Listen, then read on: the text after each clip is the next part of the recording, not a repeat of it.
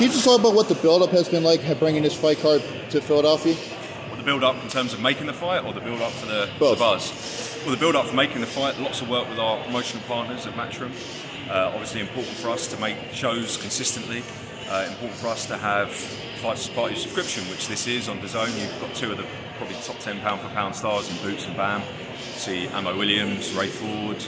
Um, Makeda obviously unfortunately now won't be on the card, but I was super excited to see him. I'm sure you were as well. Um, but yeah, lots of work with them on actually making it a commercial, um, you know, uh, sound decision for us. And then the build-up, fantastic. I mean, look at the amount of people in there. Very, were you here yesterday? Yes. Yeah, very busy yesterday. Lots of uh, lots of local fans, lots of fans following BAM around the country as well. Um, so yeah, it's a no-brainer, and we'll continue to do this. We've done this many times. We've done it in the states many, many times. Lots in the in the southern states. We've seen amazing, amazing local turnout.